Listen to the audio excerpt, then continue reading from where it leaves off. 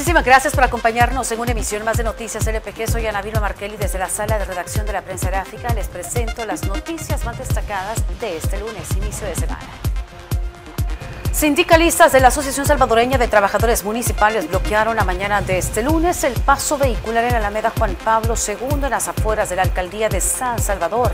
La protesta tenía como propósito exigir al alcalde capitalino Ernesto Mason el pago de 10 meses de retenciones laborales que aseguran el jefe de Licio ha hecho a empleados de dicha comuna. Esta no es la primera vez que los sindicalistas realizan este tipo de protestas. En días anteriores bloquearon la recolección de desechos sólidos en el centro de operaciones 5 de noviembre, afectando al menos a cinco sectores de la capital.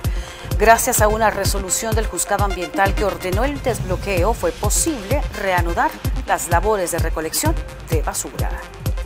Una caravana de más de 6.000 hondureños fue disuelta la mañana de este lunes 18 de enero por autoridades guatemaltecas por segundo día consecutivo. Elementos del orden armados con garrotes y gases dispersaron a las personas que se mantenían paradas desde el pasado sábado en el kilómetro 177 de Vado Hondo, Chiquimula, en camino hacia los Estados Unidos. Las autoridades aún no brindan detalles de las personas que han resultado lesionadas en esta revuelta, pero aseguraron que mientras los migrantes no muestren una prueba negativa COVID-19, estos no podrán continuar su trayecto hacia la nación norteamericana. Tras la iniciativa de la Comisión Gubernamental para reformar la Constitución de la República, la cual contempla solicitar la ampliación de los periodos presidenciales a seis años a partir del 2029, los parlamentarios expresaron diferentes opiniones respecto al tema. Escuchamos. Eso es totalmente fuera de lugar. Este país no está pensando en reinados. Vivimos un sistema democrático donde la parte fundamental de la, o la esencia del sistema democrático es la alternancia. Realmente es una burla para el pueblo salvadoreño que el gobierno esté abordando temas que van a entrar probablemente en vigencia hasta el 2029 mientras la gente en este momento no tiene que comer, no le cae agua, no tiene vivienda, la están extorsionando, hay desaparecidos, asesinatos, hay migración.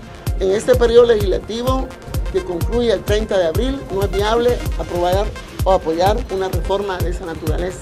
Consideramos que la Constitución establece claramente en el artículo 248 que por ningún motivo se va a cambiar el sistema político y dentro de eso, en el mismo artículo se señala que los periodos no son extendibles.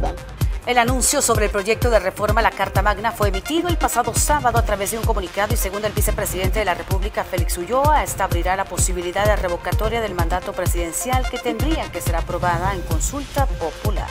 Y la mañana de este lunes 18 de enero, el expresidente salvadoreño Alfredo Cristiani, también uno de los firmantes de la paz, dio su postura ante la decisión del actual presidente de cambiar el nombre a la conmemoración de los acuerdos de paz por el Día de las Víctimas del Conflicto Armado el 16 de enero de, 1992 marcó unos, unos acuerdos de paz que le dieron fin a un conflicto armado. Eso, eso no lo va a cambiar el nombre que le quieran poner. La Asamblea Legislativa decretó que este es el día de, la, de los acuerdos de paz y para mí eso es suficiente.